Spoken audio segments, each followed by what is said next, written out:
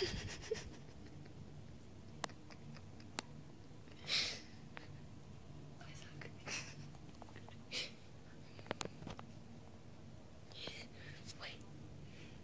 From. Well. right, so I hope you guys enjoyed this video. Please be sure to leave a like and subscribe for more videos. So, yep, hope you enjoyed. See you guys